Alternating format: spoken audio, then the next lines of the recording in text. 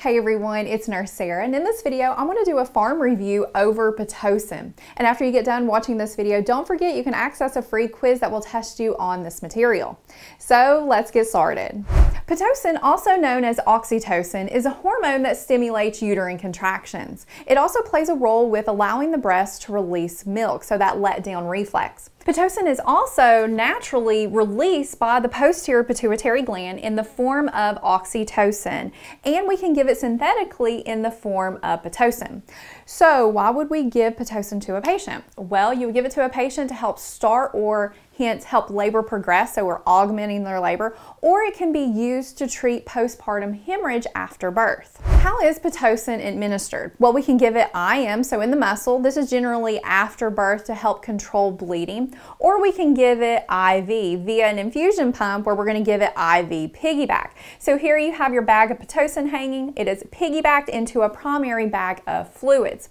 So you always want to follow your hospital's protocol on how they want you to administer this. So if you're going to be working in a maternity area, look at that protocol, get really familiar with it. But for example, how we give it, it started very low and slow. For example, it's given in milliunits. So one milliunit per minute, that's where we start them. And then we increase it by one to two milliunits per minute every 30 to 60 minutes per that healthcare provider's parameters. So you're going to look at the parameters the healthcare provider wants you to have, plus you want to take a look at your patients. How's mom and baby responding to this? Now this medication is given in various concentrations. That's going to depend on what your facility has. So you just want to be familiar with that. It's mixed in an isotonic solution like lactated ringers or normal saline. So you could have a bag that says there's 30 units per 500 mLs, 10 units per 1,000 mLs, or 20 units per 2,000 mLs. Now let's talk about how Pitocin works. How does this medication help that uterus to contract? Because if we can understand this on a cellular level, it's going to be easy to recall those side effects that we need to monitor for, our nurse's role, and etc. So what I'm going to do is I'm going to walk you through this and I've tried to simplify this because quite frankly this process can get really crazy and in nursing we really just need to know the gist of why this medication is doing what it's doing. So one of the big things that you want to remember that Pitocin does to achieve those uterine contractions is that it's trying to increase the calcium inside the cell, so the intracellular calcium, because if it can do this, it will activate the myofilaments, hence those contractile proteins on the uterus so we can get uterine contractions. That's it's really a big goal. So how can you remember that? Let's say you're taking a pharm exam and it says, how does Pitocin work to cause uterine contractions? Well, how I remember is, look at the word Pitocin, oxytocin. I see that C and the I in the end, and that helps me remember for the C, it's calcium, and it's going to increase it, IN, increase it inside the cell. Hopefully that will help you recall that just a little memory aid. Okay, now back to how it works. Okay, so first let's talk about our key players.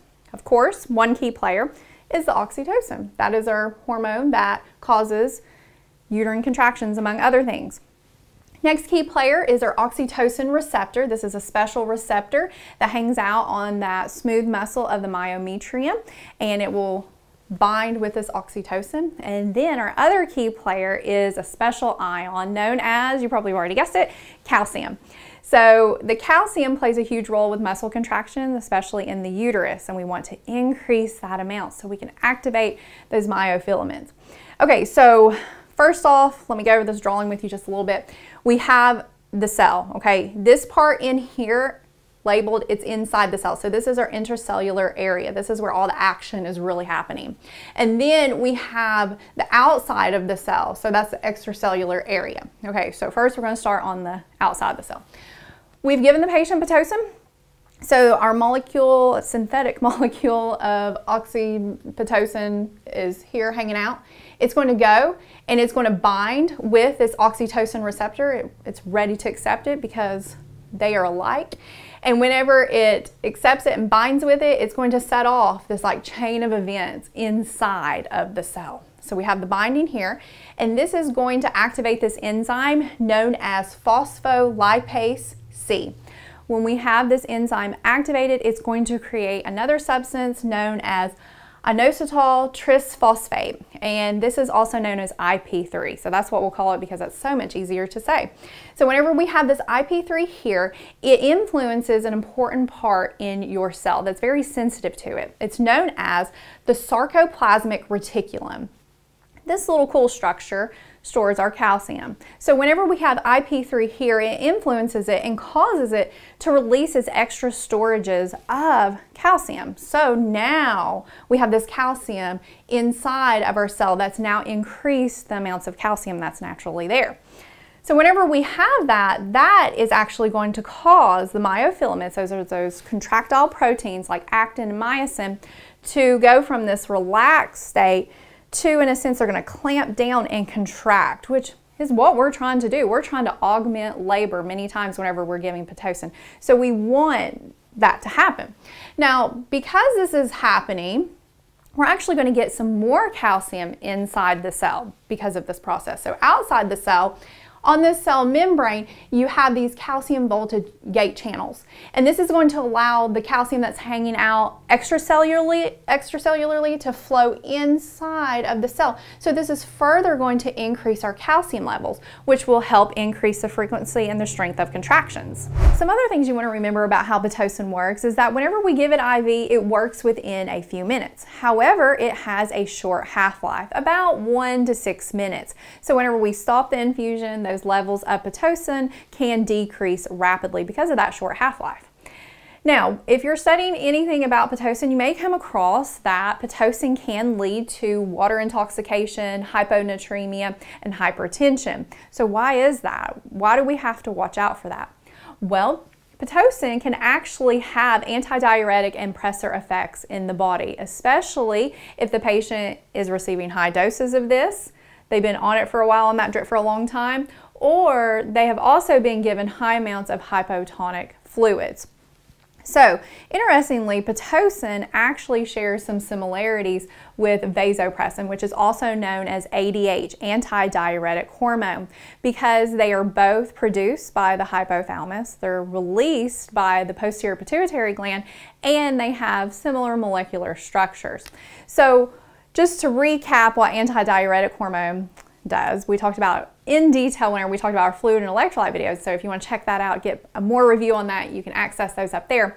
What it does, remember whenever we give patients diuretics, what do they do? They cause the patient to urinate, hence rid themselves of fluid. Well, if we have anti-diuretic hormone, we're going to do the opposite effect of that. We are going to retain fluid. So whenever the body is retaining fluid, it can cause problems. It could give the patient way too much fluid in their intravascular system, which can lead to water intoxication. We also have electrolytes in there. So if we water it down, we can water those out, hence cause hyponatremia, lowering that level. Plus, with this pressor effect, we can cause some constriction and we have the higher amounts of fluid in our vascular system that can increase our blood pressure. So as the nurse, you definitely want to monitor for that because that can occur. Now, what are some situations where Pitocin should not be used? If the patient has cervical cancer, placenta previa, this is where we have a low-lying placenta over or near the cervix. The fetus is large, greater than 9.9 pounds or 4,500 grams. Gestational age less than 39 weeks. There's a cord prolapse active genital herpes infection, or abnormal fetal position such as transverse lie or another malpresentation. Now let's talk about the side effects of Pitocin, what you got to be monitoring for. And how I'm going to do this is we're going to talk about the side effects that you expect to happen versus adverse effects that are happening. That tells you your patient's receiving way too much Pitocin. So first up are side effects that we expect that's going to happen. Patient, of course, is going to have uterine contractions. They may also experience nausea and vomiting. The goal, again, of Pitocin is to simulate those uterine contractions where we have a normal pattern, frequency, and intensity. So we're getting this cervix to dilate. And we want to achieve this with the lowest effective dose possible. So we want to avoid hyperstimulation of the uterus where we're making it contract way too much because whenever we do that, we're going to impede blood flow to the baby. And we don't want to cause fetal distress. So always look at your hospital's parameters and how your patient should be presenting while they're on Pitocin. So for example, we would maybe want one contraction every two to three minutes, lasting about 40 to 70 seconds with moderate to strong palpation. And having this will help mother and baby to recover between each contraction and it's going to ensure that we have adequate blood flow to that placenta. So if we have good blood flow to that placenta, that means the baby is getting the nourishment that they need. So as labor progresses, the Pitocin will be turned off typically when they're in that active phase where our cervix is getting to about five centimeters. And by doing this, we can allow the natural production of oxytocin to be secreted. So by doing that, that's going to help hopefully decrease fetal distress, the overstimulation of the uterus, and so forth. Now, what are those adverse effects that you got to watch out for? This tells you that if these signs and symptoms are presenting, that your patient's getting way too much Pitocin. Well, to help us remember that, remember this mnemonic I created called PIT drip. First is painful or intense contractions with little to no uterine relaxation. Also increase uterine tone. This is where our uterus is remaining firm between contractions. And how we can know about this is like through an intrauterine pressure catheter, which can be inserted in the uterine cavity to provide pressure readings. A resting normal uterus reading would be less than about 10 to 15 millimeters of mercury, and it would not be a good sign if it was greater than 20 millimeters of mercury. This tells us that our uterus is way overstimulated, and again, this can lead to fetal distress and placenta problems. Next is tachysystole. This is where we have more than five contractions in 10 minutes, averaged over 30 minutes. In addition to a duration of contractions where they're greater than 120 seconds, which is two minutes, that tells us that we have prolonged contractions. The resting time is less than 60 seconds between contractions, so contractions are occurring too frequently. Irregular fetal heart rate patterns, where you're seeing variable or late decelerations, this is not a good sign. And then lastly, Pitocin-induced fluid retention. This is talking about water intoxication or the hyponatremia due to that vasopressin-like effect that we talked about earlier. And this can present as a patient having a headache, confusion, shortness of breath, seizures, and swelling. Now let's talk about your role as a nurse whenever you have a patient on Pitocin. So a huge thing you're going to be doing is you are going to be monitoring your patients. So you're going to be doing continuous monitoring per protocol. That protocol will dictate to you how often often you're measuring the vital signs and watching that fetal heart rate. So with mom's vital signs, you're looking at them all across the board. Particularly one thing I want to point out about the blood pressure is that your patient could experience hypotension or hypertension, so a low or high blood pressure. It can go either way. So the reason for the hypotension is because in low doses, Pitocin can actually cause vasodilation. In high doses, because of that pressor-like effect, or if they're having intense contractions, you could see hypertension. So just keep that in mind. You also want to be monitoring mom's contractions, looking at that frequency, the strength, the duration, are they being helpful? Is that cervix actually dilating? And you're going to be monitoring that fetal heart rate. Plus, you want to do strict I's and O's because again, there's that risk for water intoxication. So we want to know what's going in and what's going out. Plus, that tells us about renal function and looking at the lab work, making sure our sodium level is staying within normal range, plus those other electrolytes. Now, on exams, you're probably going to get questions of worst case scenario. You have a patient who's having way too much uterine stimulation, like they're having frequent contractions. There's no rest between them. They're intense. Their duration is long. And then your patient, your other patient has non-reassuring fetal heart rate tones that you're seeing. What are you going to do? Well, to help you remember what you're going to do, remember another mnemonic I created called the five S's. You want to stop that Pitocin infusion to prevent further uterine stimulation. Shift the patient to the lateral side. Left side is the best, but right can be used too. This is going to help optimize the uterine blood flow. Then supply the patient with an IV bolus per protocol. This could be, let's say, like 500 mLs of lactated ringers and this is going to help improve circulation and fetal oxygenation. However, you want to be mindful of the patient's fluid status already. Then see how the patient and the baby have responded. If the fetal heart rate is still abnormal, you may want to consider supplying with oxygen. This could be anywhere between 8 to 15 liters per minute via a non-rebreather mask. And if the fetal heart rate is still non-reassuring after this, you may want to consider subcutaneous terbutaline. And this is used as a tocolytic to reverse that uterine hyperstimulation. It's a beta agonist that relaxes the uterus. However, with this, you want to watch for tachycardia in mom and hyperglycemia.